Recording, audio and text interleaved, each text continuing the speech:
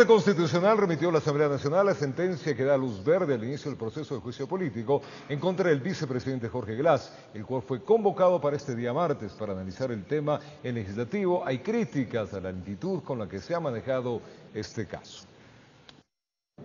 La resolución de la Corte fue remitida a la Asamblea recién este viernes, cerca de las 5 de la tarde, y en su cuenta de Twitter el presidente de la Asamblea anunciaba que ha convocado al Consejo Administrativo de la Legislatura para recién este martes a las 5 de la tarde abocar conocimiento y enviar el pedido aprobado a la Comisión de Fiscalización. Bajo estos parámetros y con el tiempo en contra, es poco probable que una resolución del tema del vicepresidente pueda salir antes del 2 de enero. Y en la Asamblea lo reconocen así, tanto oficialistas como opositores. No hay cómo. Yo ya he sumado, he visto y no veo cómo antes del nuevo año haya la posibilidad de concluirlo, de iniciarlo sí.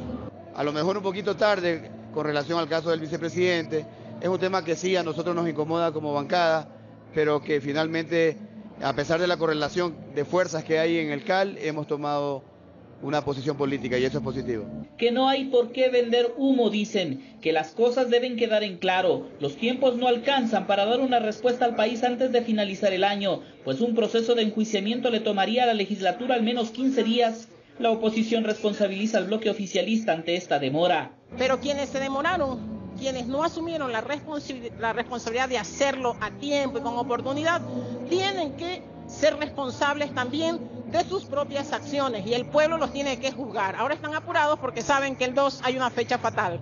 Y es que bajo estos parámetros es más probable que se declare la vacancia del cargo por ausencia definitiva del vicepresidente a que la Asamblea dicte una resolución de juicio político. Cuando el vicepresidente falte definitivamente, que ese es el tema, el presidente debe enviar a la Asamblea una terna para que la Asamblea en su sesión del Pleno decida. Ahí no habla de la Corte Constitucional, así que no tenemos por qué enredarnos. Aplique la Constitución, señor presidente, y mande la terna a la Asamblea. Y aunque esto demore, el juicio es necesario, dicen, pues hay que dejar sellado el tema. En el punto coinciden en el ala morenista y los opositores. Eh, el 3 de enero ya el Ecuador tendrá un nuevo vicepresidente de la República y que el tema del juicio político es un proceso que debe avanzar cosa que rechazan los correístas que critican a la Corte y a la Asamblea, pues aseguran que en contra del vicepresidente se ha actuado ilegalmente. Y lastimosamente eso es lo que se estaba buscando. El único objetivo de todos estos procesos judiciales, de los procesos políticos, es sacar al vicepresidente de su cargo. Tal como están las cosas y al paso que va la legislatura es imposible que se obtenga un resultado de este enjuiciamiento antes de terminar el año.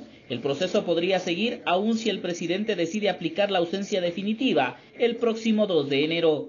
Informo Javier Gallo.